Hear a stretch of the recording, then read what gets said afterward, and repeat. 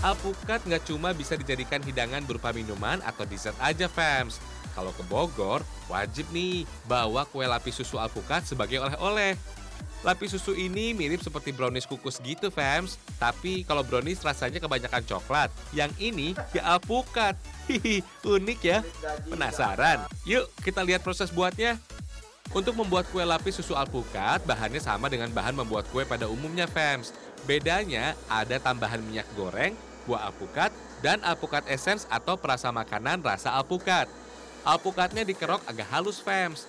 Pemakaian buah alpukat memang nggak banyak ya, fams. Kalau kebanyakan, kue bisa jadi basah dan cepat basi. Makanya perlu tambahan perasa makanan alpukat deh. Sambil menghaluskan, tambahkan krimer kental manis ke dalam alpukat, fams. Aduk biar rata ya. Baru deh tambah perasa makanan alpukat. Kalau udah rata, siap deh di mixer. Kocok telur, gula pasir, TBM atau pengemulsi adonan kue selama 20 menit, fams. Hasilnya, adonan mengembang kayak gini, berwarna putih dan kental. Selanjutnya, masukkan deh adonan alpukat dan krimer kental manis tadi. Sambil terus diaduk secara perlahan ya.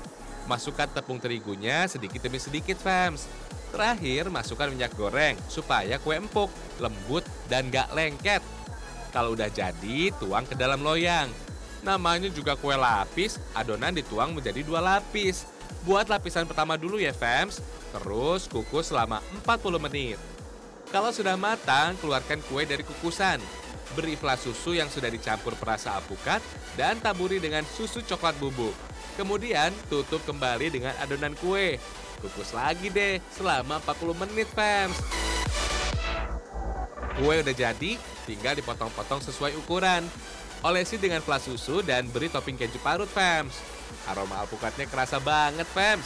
Bolunya lembut dan rasanya beda dari kue lapis biasanya. Flas susunya pas dan gak terlalu manis. Lapis susu alpukat ini dibanderol Rp35.000. Jangan lupa bawa oleh-oleh ya, fams.